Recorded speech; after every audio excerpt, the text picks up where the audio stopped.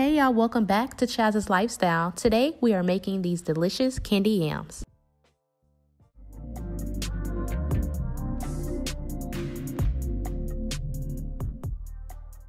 I'm going to start by prepping my candy yams. I went ahead and cleaned them, peeled them, and now I'm cutting them um, into the size that I prefer. Um, if you prefer a different size, you can, of course, do whatever size you'd like or shape. But this is the size I pretty much like, and I also love this type of shape for my candy yams.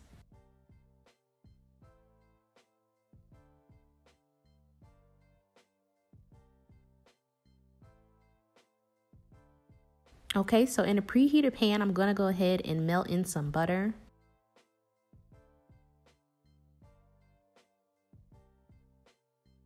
Once my butter is pretty much melted, I'm to go ahead and sprinkle in some brown sugar.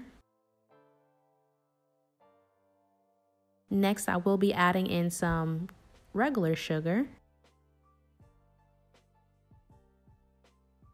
also a drizzle of vanilla extract, and a sprinkle of cinnamon. Also, my personal preference, I like to use nutmeg, so I'm adding that in, but that is optional.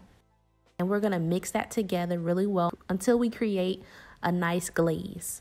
My heat is on a medium heat.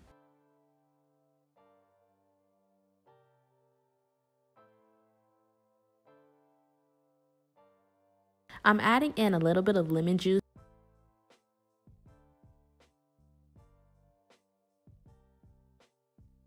So once your sauce starts to lightly boil, go ahead and turn it off and let it thicken up.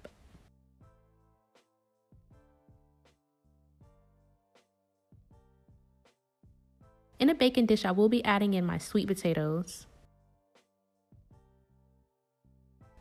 Next, I'm going to add that glaze sauce we made earlier right on top of that.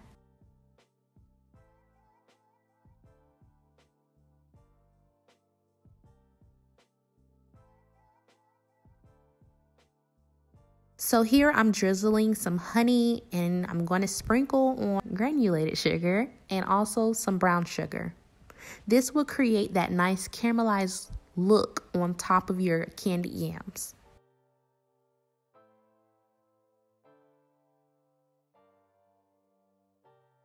I'm going to cover that with foil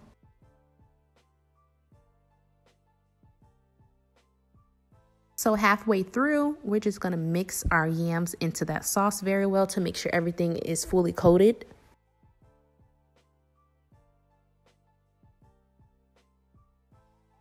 Okay, once everything is mixed together very well, we're going to cover that back up with foil and then we'll place that back in the oven and let that cook for the remainder of the time. If you decide to make this recipe, be sure to tag me on Instagram at Chaz's Cuisines. Thank you for tuning in to Chaz's Lifestyle. If you enjoyed this video, be sure to give this a thumbs up. Also, comment down below what you would like to see next.